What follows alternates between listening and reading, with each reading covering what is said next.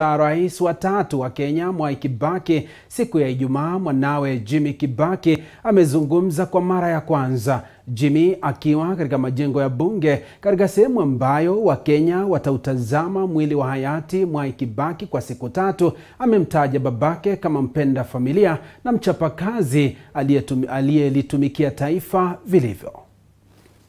Outpouring of, of, of love and encouragement from our fellow Kenyans, we are finding strength. Uh, you know, Mzee was, to us, he was our dad. But obviously, you can see from here where we are, from millions and thousands and millions of other Kenyans, he was so much more.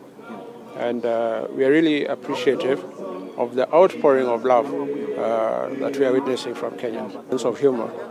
But he was also somebody who expected people to try their best in whatever you were doing, whether it was in schoolwork, whether it was in your business, whether it was what.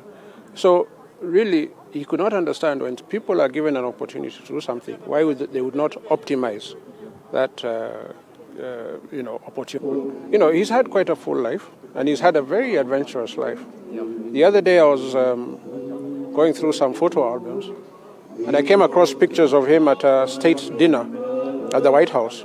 And I was just thinking, you know, for, for somebody who was raised as a, as a little boy in Gatwaini village, actually sitting in State House as the president of Kenya, you can imagine that journey. Yeah?